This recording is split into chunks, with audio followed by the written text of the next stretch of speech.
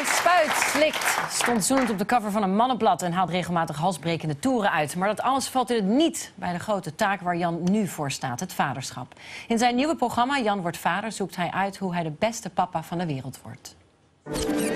Vandaag is de dag dat ik wereldkundig maak. Dat Diewertje en ik een baby krijgen. Het is geen, geen vooropleiding, het is extreme verantwoordelijkheid. En huilen, jongen. En dat je denkt, zweten en zo. De periode van jonge kinderen hebben is de meest beroerde tijd in je leven. Ik ga, jongen. Je kunt namelijk Afrikaans dansen. Met je kind. En dan word je heel gezellig van met je kind. En je blijft heel erg goed in shape.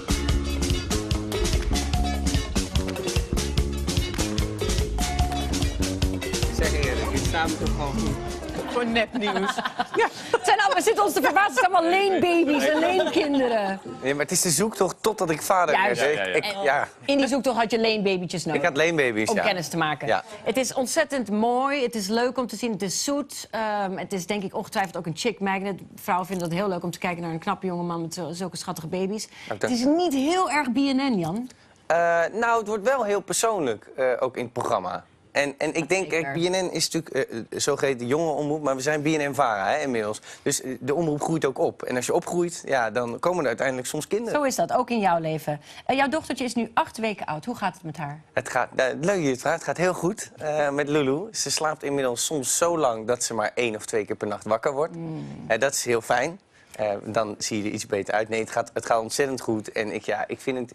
Je wordt van tevoren heel bang gemaakt. Hè? Want eh, nou, nou, wacht maar, want eh, je gaat nog dit en je gaat nog dat en je relaties. Dus ik vind het eigenlijk allemaal heel erg fantastisch. Echt? Ja, ik vind het echt heel leuk. Tuurlijk, het is ook wel eens niet leuk als de kak tot aan de nek zit... en ik sta om half vier s'nachts voor de derde keer die nacht eh, aan haar bedje. Maar ja, eh, er zijn wel ergere dingen. Ja, natuurlijk.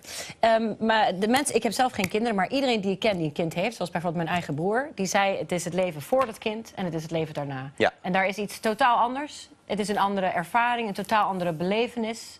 Je wordt een ander mens. Kan je dat onderschrijven? Is dat ook zo voor jou? Ja, je wordt denk ik wel een ander mens. Daarom is het ook wel goed, denk ik, dat... Ik wilde heel graag kinderen en ik wilde het ook heel graag met Diewertje. Maar als je denkt dat je, als je eenmaal een kind krijgt... hetzelfde leven kunt houden, ja, dat is onzin. Dat kan niet. Je moet, je moet je tijd heel anders in gaan delen. Maar als je dat van tevoren weet en je accepteert... dat je vanaf nu altijd een stukje moeier bent dan daarvoor... Mhm. en je een beetje meer zorgen maakt dan daarvoor... eh, eh, ja, dan is het gewoon... Dan is er goed leuk. mee te leven. Het Ja. is grappig dat je, ik wilde er later op terugkomen, maar het is grappig dat je erover begint van je hebt niet hetzelfde leven daarna. Je, kunt, je moet je tijd anders indelen. Ja. Wat heel mooi is in aflevering 2, ben je met Duwertje hier, eh, zien we in gesprek, over hoe de zorgtaken verdeeld gaan worden tussen jullie twee. Ja. Ik heb daar met verbazing naar zitten kijken, Jan. Waarom? Ik Nou, dat ga ik wel zo zeggen als ik het heb laten zien. Kijk, kijk, ik heb natuurlijk gekozen voor een bepaalde carrière in de televisie. Daar moet je hard voor werken, anders, anders ja, gaan zetten ze wel iemand anders op je plek neer. Wat is acceptabel dan voor jou? Om weg te zijn, hoe lang? Ja, ik denk wel altijd dat ik per jaar altijd wel minimaal een maand weg ga zijn. Of dat nou aaneengesloten is of niet. Ja. Eh, en misschien wel twee. Nou, dat zou ik wel relaxed vinden. Kijk, ik heb ook een carrière. Hè? Ik heb dat, daar ook tijd voor nodig. En jij blijft eigenlijk gewoon doen wat je doet. Want als er een programma komt voor zes weken of twee maanden... wat je heel graag wil doen, dan ga je dat dus gewoon maar doen. Gewoon in overleg met jou. Maar ga ik het wel doen? Maar dan ga ik het wel doen. Wat gebeurt er hier? Kijk, kijk wat er hier gebeurt is dat, is dat... Kijk, ik sprak met Arie Boomsma voor dit programma. Oh, dat verklaart alles. Nee, nee, dat, was, er was een komma. Was een, een, een puntkomma. Ja. Ehm, en hij zei... Kijk, je moet als je dit werk doet en je, je wil niemand anders op je plekje hebben... want ja, dat gebeurt nou eenmaal snel... dan moet je niet zorgen dat je per se veel minder gaat werken. Je moet de tijd die je thuis bent efficiënter indelen. En ik heb bijvoorbeeld met mijn eigen vader gepraat voor dit programma. Mhm. Mijn vader kwam thuis, werkte ook heel hard. Ehm, eh, eh, en ik kwam thuis en die ging de krant lezen. Tot het acht uur journaal begon, was iedereen monddicht... En dan ging hij weer de krant lezen. en ik denk dat het mobieltje dan nu de krant Ja. is. Eh, maar ehm, ik denk als je die tijd efficiënter indeelt, dat je, dat, dat je nog... Het gaat om Jan. kwaliteit van tijd. Zeker, dit klinkt fantastisch hoe je Dank je wel. Vindt Diewertje dit ook een fantastisch verhaal? Nou, kijk, Diewertje, eh, ik ken Diewertje vanaf het moment... Ik was al op televisie toen ik haar leerde Mhm. kennen. Dus zij snapt ook wel ja, dat ik op onregelmatige tijden werk. Ik zit nu ook hier, had ik ook niet kunnen doen. Ja. Ah. Ehm, had ik ook, nee, maar snap je, ik ben soms op rare tijden weg. Maar ik ben ook eh, die vader die twee weken voor en twee weken na de bevalling eh, vrij was. Dus ik Ja. ben een maand vrij geweest. Ik denk dat ik misschien wel, als je het allemaal bij elkaar optelt... mijn kind vaker kan zien dan iemand die iedere dag 9 tot 5 werkt. Zeker vaker dan eh, jouw eigen vader, dat heb je ook net gezegd inderdaad. En dat is wel een vrij confronterend gesprek wat je Ja. met hem eh, hebt in de uitzending. En ik vond hem buitengewoon openhartig. Laten we even kijken. Want wat voor vader was jij? Ja, ik denk dat ik misschien wel een beetje afwezige vader ben geweest. Doordat ik eh, heel hard gewerkt heb in die tijd. Ik denk niet dat ik het fout gedaan heb, maar ik had het beter kunnen doen. Heb je er spijt van? Ja, ik denk het wel. Ja. Dit is de tip. Neem het aan van je oude heer. Geniet. Geniet van alles. Want die kinderen die groeien op. En eh, ze maken alles maar één keer door en ze zijn het huis uit voordat je het in de gaten hebt. Kwam dit ehm, echt bij jou aan, dat hij dit vertelde?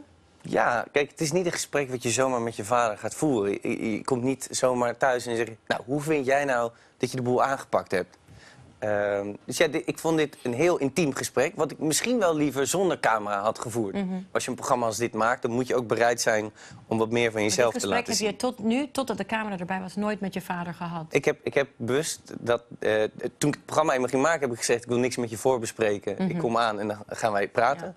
En ik heb daarvoor dat gesprek nooit gehad. Nee. En kan je onderschrijven wat hij zegt in de zin dat hij afwezig was? Hij was er fysiek misschien, maar hij was afwezig in jouw leven in die zin dat hij de krant aan het lezen was of andere dingen aan het doen was. Heb je dat zo als kind ervaren?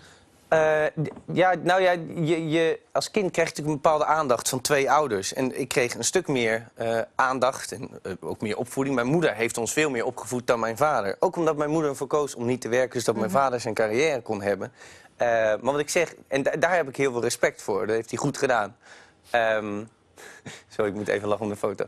Ehm, maar, maar ik vind, als je dan thuis bent, en dat vind ik zelf ook Ja. zo belangrijk... Ja, dan moet Leg je, je dat mobieltje dan ook weg? Heb je die dan ook niet als je met Lulu bezig Ik bent? heb de afspraak gemaakt... eh, Ben jij dat? dit is niet mooi, hè? Dat, dat kunnen we... Kunnen we Het is helemaal goed gekomen, dat kunnen we wel zeggen. Ehm, eh, nee, ik heb dus de afspraak gemaakt met Dieltje... dat omdat ik zit vaak thuis ook zo... Ja. als ik thuis kom, gaat de mobiel in de fruitschaal. Gewoon tussen de bananen en de eh, kiwis. kijk je er niet naar. En dan, als ik voor ik naar bed ga, doe ik even een kwartiertje werk, snel alles weg. En dat werkt wel, want dan heb je echt aandacht voor thuis. Bewust aanwezig zijn Ja. voor je dochter. Je gaat ook op zoek eigenlijk naar lotgenoten, naar steun bij andere mannen. Laten we even kijken naar hoe dat eruit zag. Stress, spanning. Zet je even uit. Ja. Als je kinderen oké zijn, dan ben je het zelf ook. 1, 2, 3. 1, 2, 3. Wat ik heel graag zou willen is de komende tijd wat meer met mijn vrouw. Weer ouderwets zoals vroeger, verliefd. Echt gewoon liefdevol contact. Als je wil, gooi je, gooi je blok erbij, man. Hè? Alles wat je los wil laten. Het is een beetje alsof de AA, een lotgenoot Ja, ja, ik ben Jeroen en ik ben al vijf jaar vader. Je doet heel lief mee daar, Jan, maar wat dacht je? Nou ja, kijk, als ik een probleem ergens mee heb, dan bel ik mijn vrienden. En dan gaan we naar de kroeg en dan drinken we Ja. een biertje. Hoe slecht dat ook is voor je hersenen. Eh, ehm, nee, nee, maar dan, en dan heb je het daarover. Dus ja, voor mij zou dit niet direct iets zijn waarvan ik denk... nou, ik was de stress van mijn lichaam af en dan papa, papa. Dat zou ik niet zo snel doen. Ik denk wel, stel je nou voor dat je dat niet hebt. En je loopt tegen dingen aan. Ja, dan- wie ben ik dan om hier iets van Dan te kun je vinden? het daar vinden. Ik, ik heb ook een unborn child reading gehad.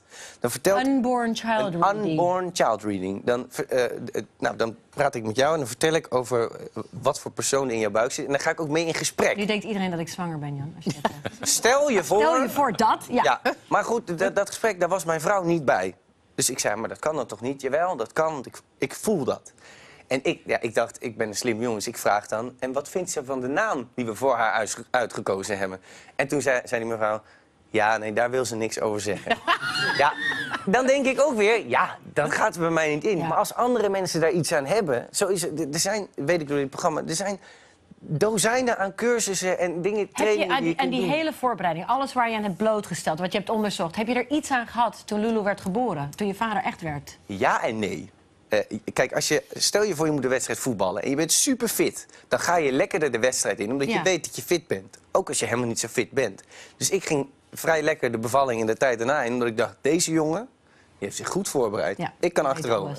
Op het moment dat je kind dan geboren wordt, is dat helemaal niet waar.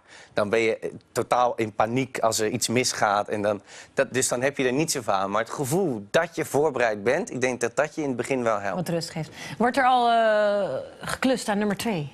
Nou, eh, Weet ik niet. Ja, als je zo enthousiast bent. ik wist niet dat Het is een beetje in de BNN-sfeer. ja, ik wist niet dat het shownieuws was. Ehm nou, Weet je dat craving, hè? dat verlangen Ja, dat naar. is precies. Je kan er niks aan doen. Craving. Weerloos. Ehm, nou ja, Lulu is bijna acht weken oud. Eh, dus Oké. het lijkt Ik me wat voor het. Ja, ik begrijp het helemaal. Eh, Jan wordt vader is vanaf morgen iedere woensdag te zien bij Binnen Vader om vijf voor half tien op NPO 3. Dankjewel, Jan. Dank je.